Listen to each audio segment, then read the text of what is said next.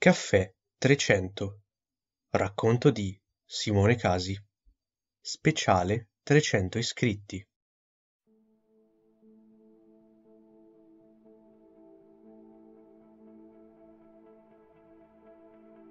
Era una serata tranquilla al caffè Trecento, come al solito del resto. Non c'era mai una giornata indaffarata al caffè Trecento e in verità non c'era mai stata, né si sarebbe mai verificata. Era proprio quello che rendeva speciale l'asteroide Geraldina, dal quale il popolare caffè prendeva il nome.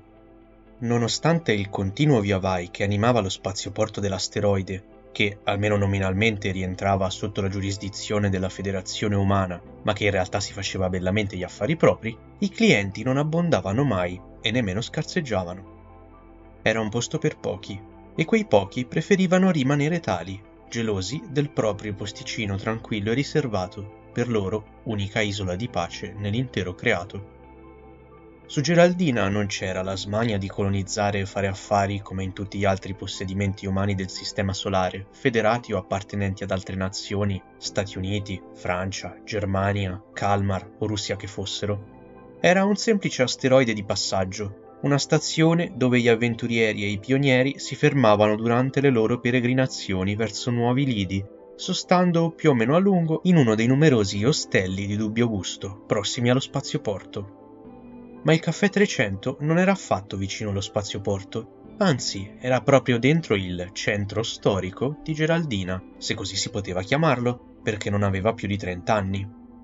La città aveva lo stesso nome dell'asteroide e ne era il capoluogo. C'erano numerosi altri piccoli centri sugli 80 km di diametro irregolare dell'asteroide, uno dei più grandi della sua zona di fascia, e anche in quelli si viveva in un'atmosfera rilassata, forse anche più che nella città di Geraldina, un'atmosfera talmente rilassata da essere soporifera e quasi noiosamente mortale. No, a Geraldina città c'era la giusta dose di rilassamento, intervallato da quei pochi pizzichi di novità e attività che fanno sopportare il dolce ozio c'erano le miniere, ma la maggior parte dei Geraldini viveva non certo senza far nulla, ma quasi. Non era necessario aver molti soldi in tasca per sostentarsi a Geraldina, né darsi da fare eccessivamente.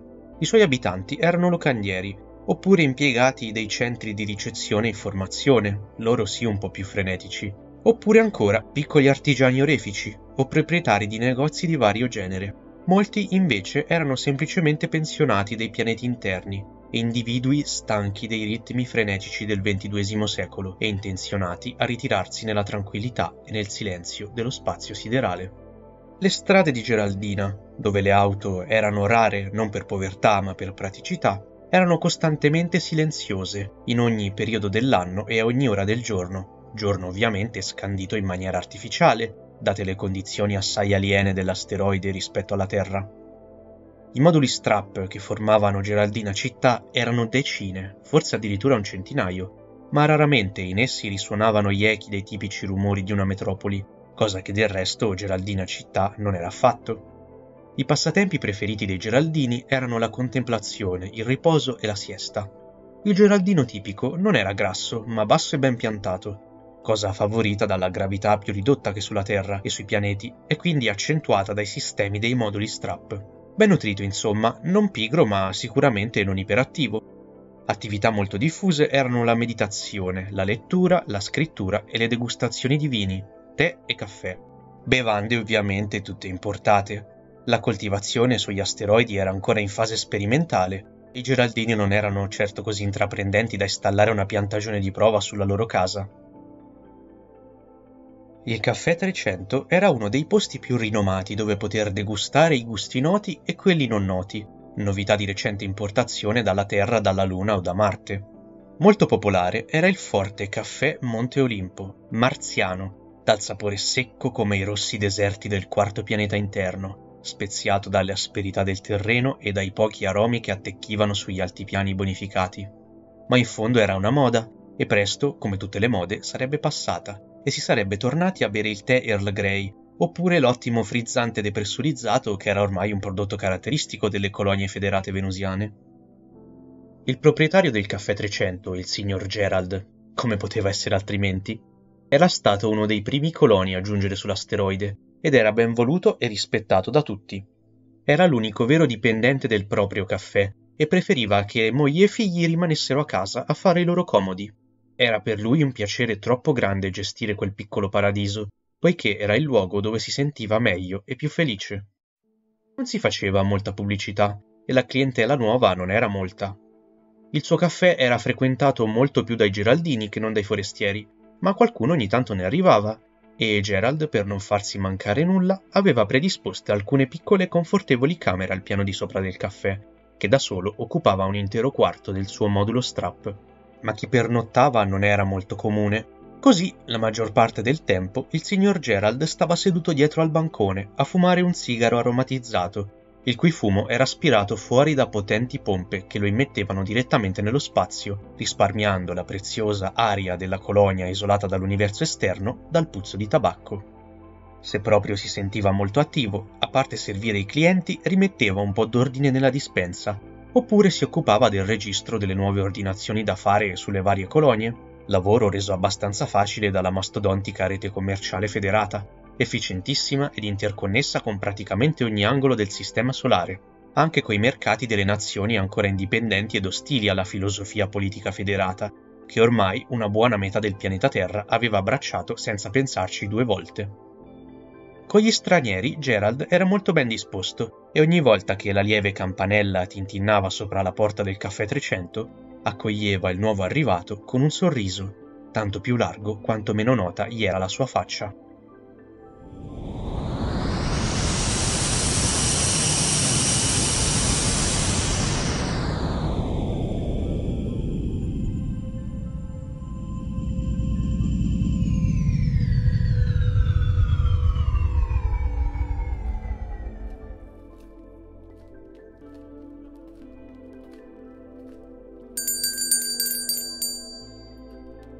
Quando lo straniero entrò nel caffè, scorse immediatamente il proprietario, che lo fissava da dietro il bancone con un enorme e bonario sorriso. A parte un altro paio di avventori semi-addormentati, non c'era nessun altro nel salone principale del caffè, e ciò lo fece sentire un po' più a suo agio. Si diresse a grandi passi verso il bancone e prese posto, appoggiando il proprio borsone sullo sgabello accanto al suo. Era stanco e polveroso per il lungo viaggio interstellare appena fatto e prima di ripartire per angoli ancora inesplorati del cosmo, voleva riposarsi un po'. Salve, lo salutò il proprietario. Cosa prende di buono? Mi basta qualcosa di caldo, fece lo straniero, che non amava usare più parole del dovuto. Ottimo, caffè o tè?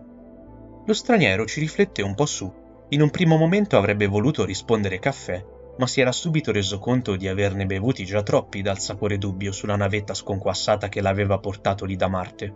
Cambiare per una volta non avrebbe potuto fargli altro che bene. Te, per favore. E allora te sia.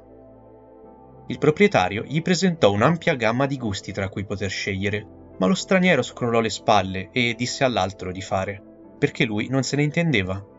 L'uomo allora sorrise ancora, sfilò una fra le centinaia di bustine presenti nella grande custodia, bustine di vera miscela di tè, non la solita robaccia liofilizzata, e si mise a preparare la bevanda. Se intanto si vuole accomodare, gli fece il proprietario di spalle mentre preparava il tè. Sì, sì, rispose distrattamente lo straniero, preso dai suoi brevi e crucciati pensieri. No, intendo, se intanto vuole sedersi su una delle comode poltrone qui a lato, sarò contentissimo di venire a servirla. Ah, no, no, no, non importa. Non mi fermo molto, devo ripartire.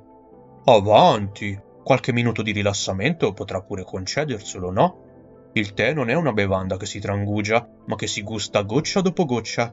Su, non faccia complimenti, si sieda su quella poltrona laggiù vicino allo sportello del bancone. C'era qualcosa nella voce pacata ma al tempo stesso sicura dell'uomo che fece desistere lo straniero dall'obiettare. È un impertinente, pensò. Ma forse dopo tutto potrebbe aver ragione, non devo ripartire proprio subito. E lo straniero, raccogliendo il proprio grande borsone, andò a sedersi sulla poltrona indicata. Un avventore nel frattempo era uscito, mentre un altro era profondamente addormentato su un altro seggio poco lontano, dal quale si udiva un sommesso russare. Mentre si sistemava, pensò di non aver avuto una brutta idea a venir lì. Era stato più forte di lui. Una volta che la navetta l'aveva scaricato su quell'asteroide intermedio, il mal di testa da lungo viaggio era diventato troppo forte ed opprimente per essere alleviato in uno degli squalidi ostelli vicino allo spazioporto. No, aveva avuto bisogno di fuggire, di scappare in mezzo a quelle strade che di norma chi transita per quella regione stagnante del sistema solare non si sogna nemmeno di percorrere col pensiero. Era così che aveva trovato quel caffè, di cui non aveva nemmeno letto bene l'insegna, e tuttavia non si stava affatto pentendo di esserci entrato. L'atmosfera era calda e accogliente, i rumori nella sala suonavano come se fossero ovattati, e il silenzio induceva un innato senso di pace e tranquillità. Sì, credo che il tè mi piacerà, rifletté, di qualsiasi gusto sia. Qualche minuto dopo il proprietario venne per servirgli il tè, che gli portò in una piccola teiera accompagnata da una grande e larga tazza, un cucchiaino e una zuccheriera. Quanto le devo? chiese lo straniero, che non voleva aver conti in sospeso con nessuno. Oh, non si preoccupi, fece il proprietario. Si goda il suo tè, si riposi un po', sistemeremo tutto con calma dopo. Anzi, se non le dispiace, mentre beve mi sistemo qui vicino a lei per fumare, così almeno mi farà un po' di compagnia. Egli non rispose, e l'uomo lo prese come un sì se ne andò fischiettando e mentre lo straniero stava mettendo qualche cucchiaio di zucchero nel proprio tè, andò a mettersi su una sedia proprio dietro allo sportello del bancone, sotto la ventola del ricambio d'aria e di fianco alla poltrona dove stava lo straniero. Mentre egli girava la propria bevanda col cucchiaino, il proprietario si accese un piccolo sigaro e cominciò a tirare ampie boccate, e l'aroma di tabacco cominciò presto a solleticare il naso dello straniero e ad invadere la sala, senza però soffocarla. Per un po' nessuno parlò, l'uno intento a bere e l'altro a fumare. Lo straniero cominciò a consumare il proprio tè, dapprima a piccoli sorsi, poi, trovandolo di suo gradimento, prese a berlo di gusto. Era caldo al punto giusto senza essere bollente, e possedeva un gradevole sapore fruttato e indefinito, che tuttavia per non sembrare uno sprovveduto non osò chiedere al proprietario. Nel frattempo egli lo osservava, tenendo tra le mani il proprio sigaro che si accorciava sempre più di minuto in minuto. Le va di fare due chiacchiere? gli chiese infine il grasso e grosso omone. Da queste parti non viene mai molta gente nuova, e qualche notizia dal sistema interno, se ce ne sono, non sarebbe male. Lo straniero non rispose subito. Non aveva molta voglia di parlare, né di pensare, né di fare qualsiasi altra cosa che dovesse impegnarlo più del minimo necessario. Tuttavia il tono dell'altro era troppo amichevole e rilassante e non poté essere scortese. Se vuole, disse. Ma non ho granché da dire. Ultimamente non è successo niente di che da nessuna parte, che io sappia. Da dove viene? Da Marte. La parte federata, immagino. Certo. Ed è nativo di lì? Beh, no. Ci sono immigrato qualche anno fa e ho lavorato per un po' nelle miniere dei Monti Tarsis. Ho capito. Doveva essere un lavoro molto impegnativo. Sì, abbastanza. E come mai ha voluto venir via? Le solite storie. La paga non era un granché, e nemmeno le mie conoscenze. La zona in cui stavo, poi, dopo Mansfield, era diventata parecchio depressa e ben poco sicura. Ah, sì, ricordo. Brutta storia, brutta storia. La federazione non ci ha fatto una bella figura, soprattutto con gli astiani. Non abbiamo dato gran prova di noi ai nostri vicini interstellari in quel momento? Ah, fosse stato solo quello. Gli americani erano furiosi. Fra poco ci scappava la quarta guerra mondiale. Beh, in fondo nemmeno di biasimo. Tutti quei morti.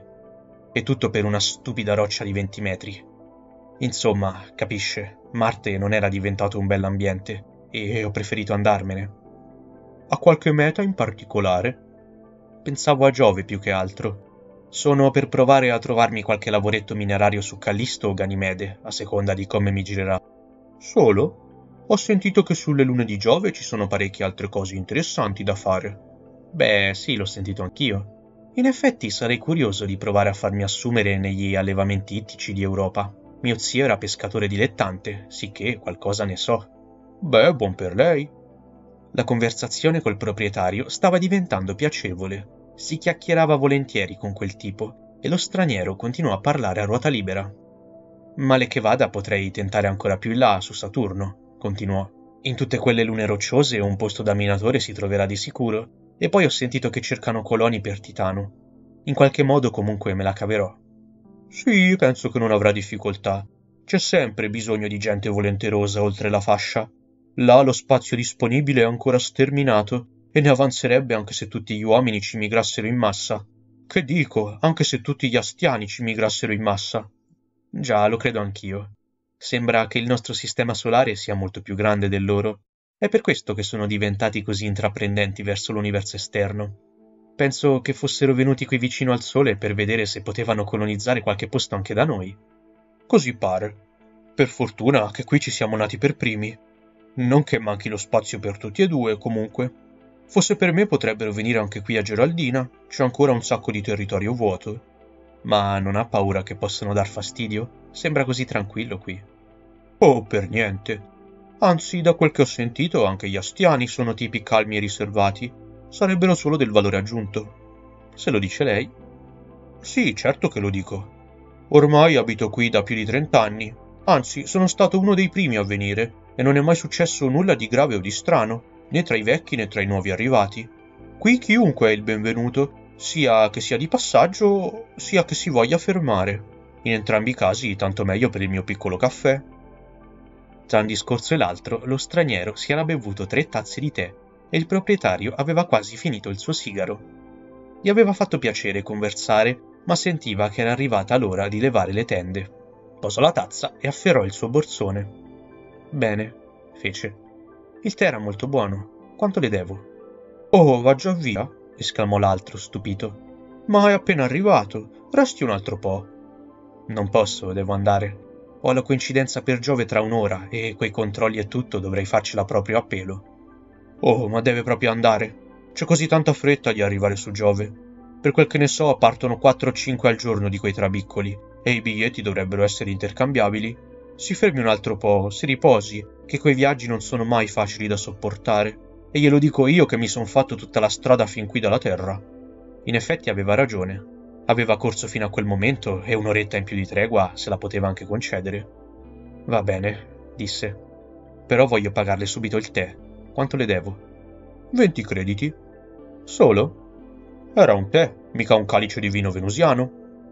Lo straniero pagò con la sua chiavetta i venti crediti richiesti e nel frattempo che il conto veniva saldato il proprietario continuava a chiacchierare. Che scortese che sono, diceva. Finora non le ho nemmeno detto il mio nome. Piacere, sono il signor Gerald.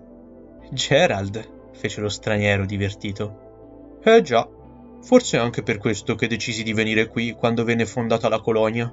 Stare in un posto che si chiama esattamente come me non capita tutti i giorni, no? E poi mi fa sentire più a casa di quanto non fosse su quella palla di roccia e acqua. Sì, la capisco, anche per me è così. Se devo essere sincero, la Terra non mi è mai piaciuta. Troppa gente, troppo poco spazio, troppe poche opportunità. La Luna poi ormai è uguale. Su Marte stavo bene, ma, come le ho detto, alla fine ho preferito venir via. Nel sistema esterno spero di trovare quello che fa per me ma sì, ma sì, lo rassicurò il signor Gerald, per poi rifletterci un attimo. Sa, anche qui su Geraldina ci sono delle miniere. Ah sì? E cosa estraggono? Le solite cose, suppongo. Ferro, rame, nickel, un po' d'oro. La paga non è stellare, ma se ha la tranquillità che cerca, questo è il posto giusto. Sono sicuro che non esiterebbero ad assumere un buon operaio come lei. Dice? E perché no? Qual è la sua mansione specifica? Beh, su Marte mi occupavo delle macchine estrattrici, soprattutto dei lavoratori meccanici. Mi assegnavano una cava e io mi occupavo di gestirla per tutto il giorno. Dirigevo i robot e cose così. Ah, beh, allora non avrà difficoltà qui, dato che i processi sono gli stessi. Lo straniero ci pensò un po' su. Quella prospettiva, in fondo, non era poi così malvagia. Beh, volendo potrei farci un pensierino, ammise. Tanto Giove e Saturno non scapperanno. Mi fa molto piacere, rispose il signor Gerald allegro. Qui sarà sempre il benvenuto. Come ci si arriva a queste miniere? chiese allora lo straniero. C'è la ferrovia. Passa per tutti i centri di Geraldina almeno due volte al giorno e in un'ora o poco più si dovrebbe arrivare alle miniere. Poco prima lo straniero era stato al gioco quasi per scherzo ma più ne parlavano e più era allettato da quella prospettiva. In fondo cosa poteva avere quel posto in meno di Giove, Saturno o qualsiasi luna? Non l'aveva mai sentito nominare, è vero, ma in quanti posti del sistema solare era ormai arrivato l'uomo? Nella fascia degli asteroidi c'erano più rocce fluttuanti che persone sulla Terra, e ogni abitante avrebbe potuto prendere possesso di migliaia di corpi senza che ce ne fosse penuria per le altre genti. Se tutta Geraldina era come quel caffè, sarebbe davvero stata una rivelazione. Devo dire che le sue parole mi hanno interessato fece lo straniero. Non ci rimetto nulla a rimaner qui per un po'. Conosce mica qualche albergo economico qui in città? Non mi va di andare in quei posti allo spazioporto. Oh, anch'io tengo delle camere, sorrise il signor Gerald. Quanto pensa di fermarsi?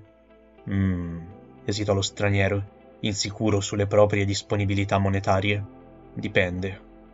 Se il problema è il prezzo, non si preoccupi, lo rassicurò l'altro.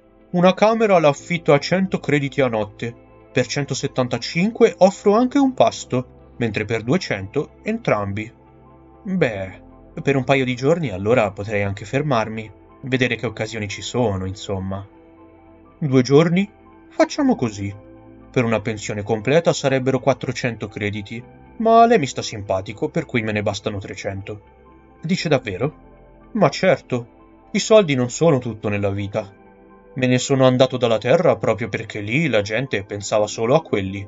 Il denaro, il denaro. Ormai tutto ruotava attorno al denaro e a null'altro. Persino la federazione, con la sua filosofia, non fa che pensare sempre al denaro. Non dico che mi faccia schifo perché mentirei, ma qui a Geraldina, una pietruzza dispersa nel mezzo del nulla, cosa vale in fondo il denaro? Finché sia qui nessuno potrà dirci nulla, con o senza denaro che siamo, non è d'accordo? Non ci aveva capito molto nel discorso del signor Gerald, ma concordava con l'idea di fondo, perciò annuì. 300 a notte allora, disse. Per oggi e domani. Esatto, confermò l'altro. Ormai sarà stanco. Non si preoccupi, mi pagherà domani. Prego, vada pure nella sua stanza. Eccole la chiave. Lo straniero la prese, ringraziò e salì la corta rampa di scale che portava al piano di sopra. Mentre compiva il breve tragitto dal salone alla sua nuova camera, pensò alla serie di casi fortuiti che l'avevano condotto lì. Se Marte non fosse diventato così insicuro non sarebbe mai partito. Se non avesse avuto mal di testa non avrebbe mai abbandonato lo spazioporto. Se non si fosse addentrato a Geraldina città non avrebbe mai scovato quel caffè. Se non si fosse messo a chiacchierare col signor Gerald non avrebbe mai scoperto quell'opportunità. Mentre girava la chiave nella toppa, si rese conto. Mi piace qui, pensò. Non credevo che qua giù, in questa parte ancora semi-inesplorata, si potesse stare così bene. Ormai si era stancato di Marte e di tutti gli altri posti affollati, desiderava solo un po' di tranquillità e di pacifica solitudine.